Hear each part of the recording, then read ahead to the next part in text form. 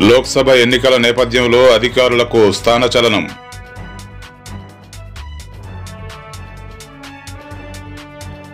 రేపటి నుండి దేశవ్యాప్తంగా జేఈఈ మెయిన్స్ పరీక్షలు.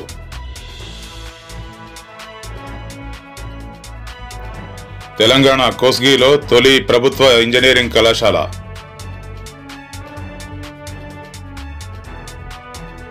అంగన్వాడీలతో ఏపీ ప్రభుత్వం చర్చలు సఫలం. జూలైలో జీతాలు పెంచుతామని మంత్రి బొత్స ప్రకటన. మరో రెండు రోజుల్లో వైసీపీ అభ్యర్థుల తుది జాబితా విడుదల.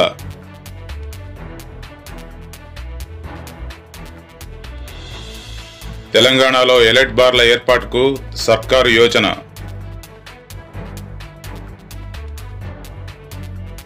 విశాఖ రైల్వే జోన్కు కేంద్రం green signal.